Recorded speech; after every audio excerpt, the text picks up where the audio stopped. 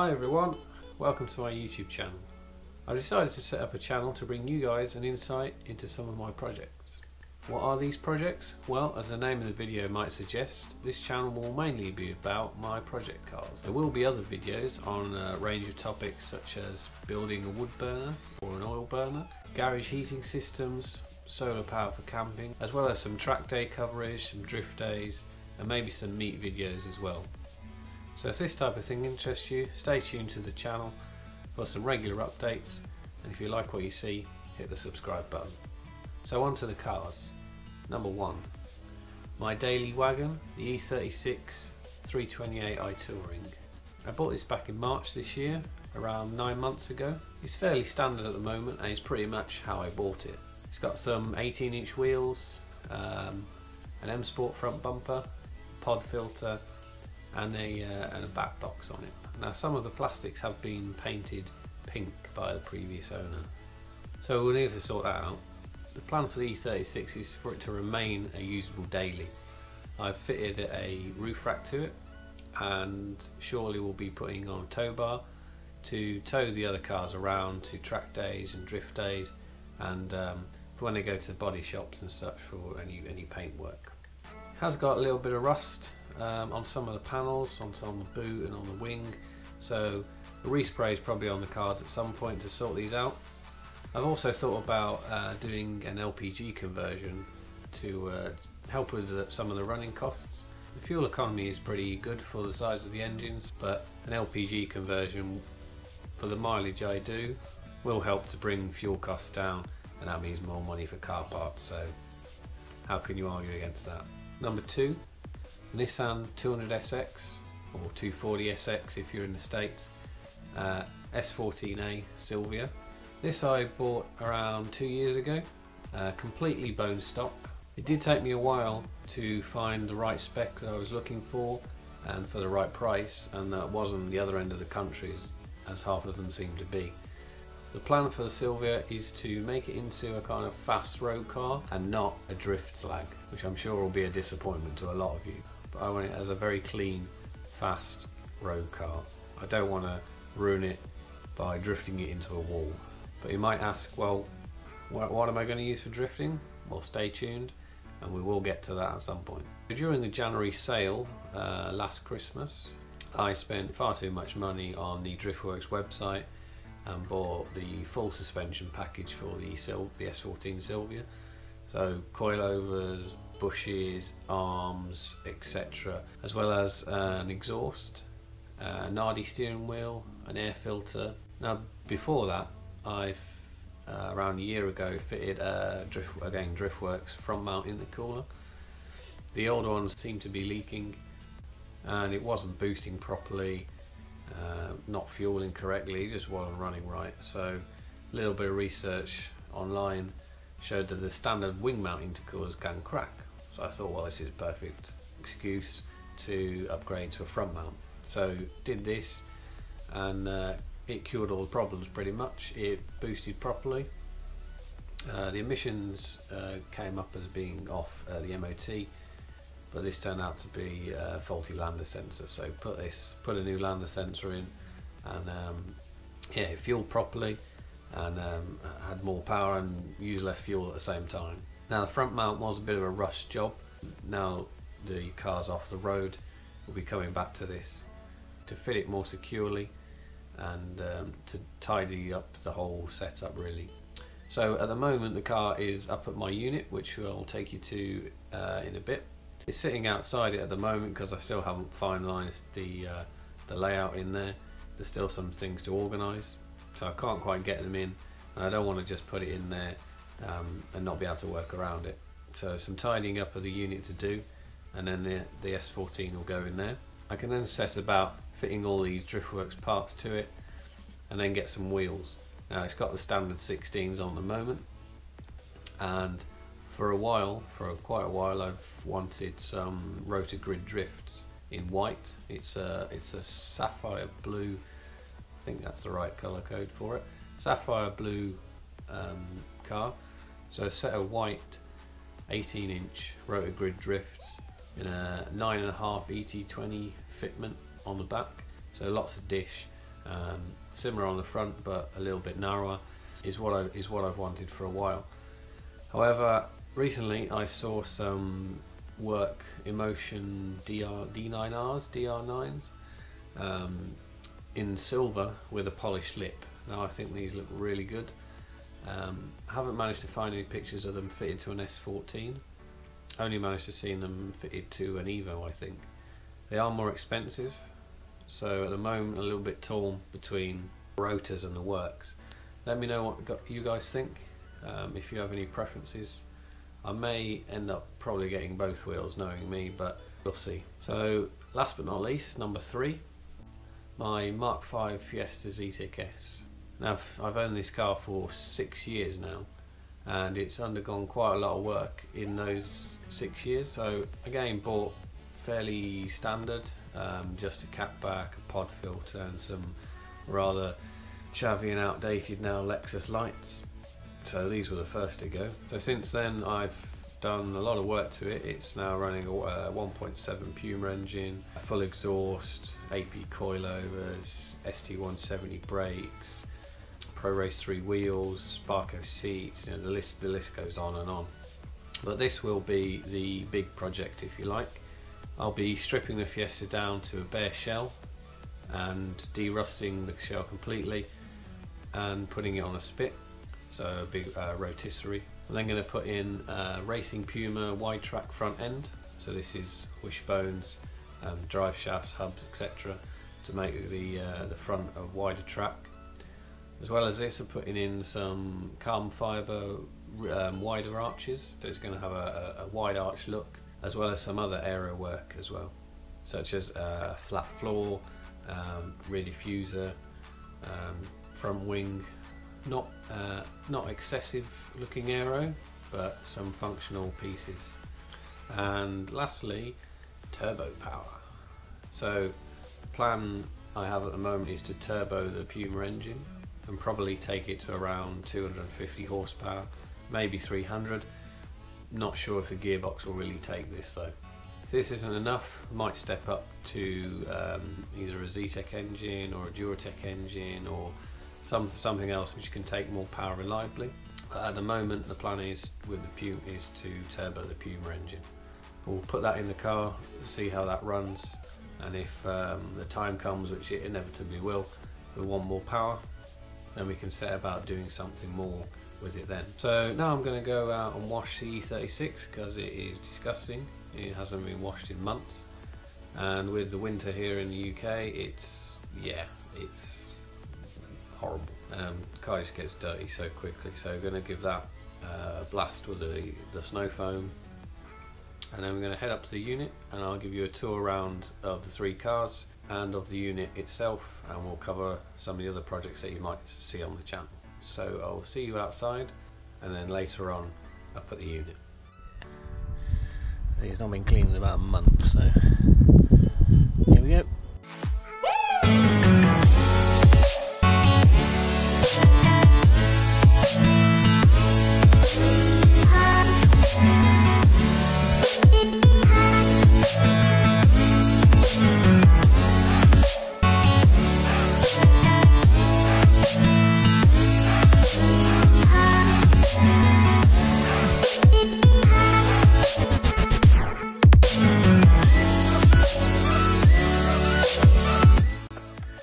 Here's the 36, it's a 328.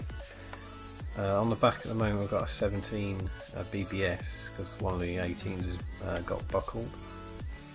But the uh, the rest are, I think they're MV2s, um, if I'm not wrong. Uh, M Sport bumper on the front and the Angel Eyes as well with some yellow um, main beam lights. I said before, it's got a, um, a Scorpion back box on it, uh, an air filter, and, and, the 18s as well. Uh, full uh, black leather interior. Obviously, there's a manual as well. So now I'm going to look at the, the Silvia and the Fiesta. So it's 1999 uh, 14A just um, just front mount on it at the moment.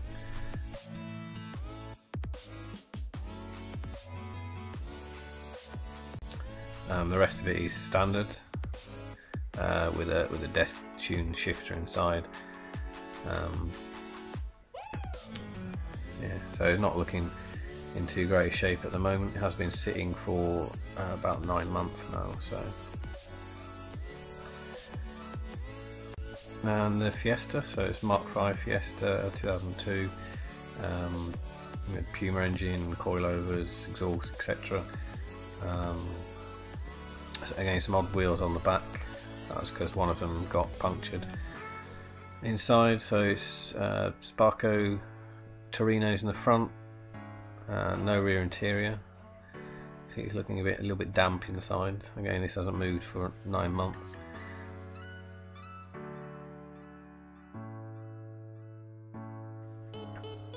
And it's got a, a 300mm um, ST170 brakes on the front as well.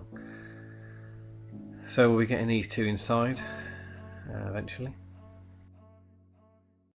So just going to take you around the unit. This is where all the, the work's going to take place. Uh, it's a bit of a mess at the moment, but I'm going to tidy all this up.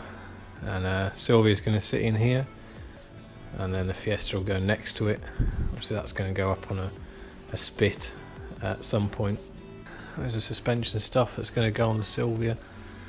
Um, loads of wheels in here. I have a bit of a wheel collection going on. Um, so some style 32s you can't really see them under there for the um, for the BMW those are E39 fitment I believe so eight and a half nine and a half um, so the big offset ones some uh, Pro Race 3s there that came off the Fiesta. One of these is damaged. Off a curb.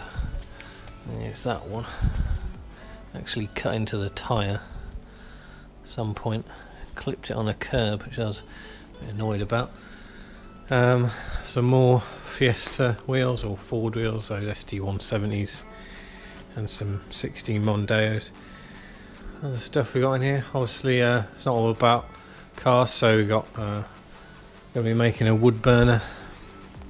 Out of this old compressor which is getting a bit knackered now so we're going to strip the uh, the compressor off there and and make the tank into a, to a wood burner so we can get rid of all this wood. Well not get rid of it use it to heat the garage. Um, see at the moment it's taking up a bit too much space.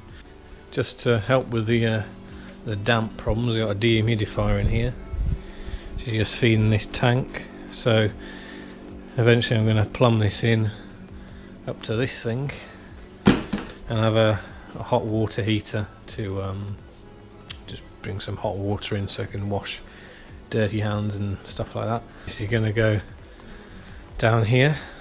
So we're going to have a hot water tank above and a pump system and to feed the sink there.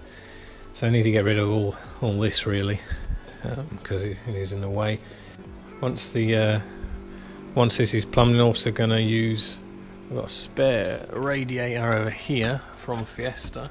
So we're going to use that, put it in around around here somewhere and plumb that up to the to the, the wood burner and actually have that as a as a radiator so some more heating save using the electric heaters and, and stuff which um, uses more electricity costs more money other things. You know, I've got some solar panels so we're doing some work um, with some these are 175 watt panels. There's two of them that's what I used to take camping. So there'll be some some videos on that. Also down here 1966 Lambretta. That's a LI 150 took that apart a few years ago. I've had that quite a while now. Um, it's in boxes somewhere over there all different parts so there'll be some videos on that rebuild other stuff we might be seeing on the channel uh, some RC cars. There's a Nitro ones, which I haven't run in years, but might be getting them back to back together. Under here, Puma engine, old Puma engine that decided to to give up. Um, lost all compression a few years ago and had to change that on the Fiesta. That's some other things. So there's all some of the Lambretta parts. Got a uh, FRP rear beam, so that'll be going on the Fiesta as well. Spare gearbox. Also got um, a lot of waste oil that I've collected from oil changes over the years. I don't even know how many litres in there, but it's quite a few 5 litre bottles. So at some point, um, going to be making a waste oil burner, and somewhere in here, a little uh, part I got from, how to get this from America, it's uh, it uses compressed air, so put compressed air in uh, through here, and then I put an oil line into that top piece and then that will draw the oil through there via the compressed air and then shoot it out of that nozzle as a atomized spray. So uh, we're going to use that as a, an oil burner at some point to again to heat the garage because I've got plenty of fuel. I think this is a 1.8 sort of 2 litres per hour nozzle something like that I can't remember now. Um, yeah so we'll use that uh, in a put that into a chamber combustion chamber or something and um, use that for for heating.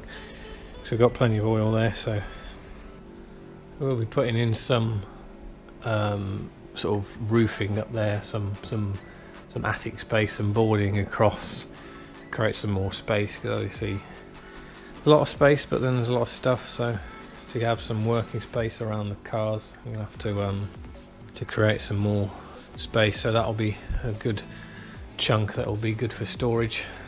Obviously when the two cars are apart there's going to be parts everywhere so. Another one of these red um, storage shelves will fit there. I was going to put another one in there. Haven't quite decided whether to or not yet. Um, may just get a new toolbox because I need a new one because this is just full of full of stuff. There's not enough space for my tools so I might get a bigger toolbox in there. So yeah stay stay tuned. Um, we'll have more more updates um, when we do some work on the Fiesta and the Silvia once we get them in here.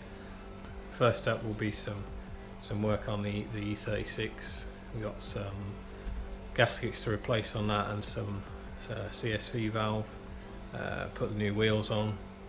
Uh, it's going to get uh, Terra cleaned.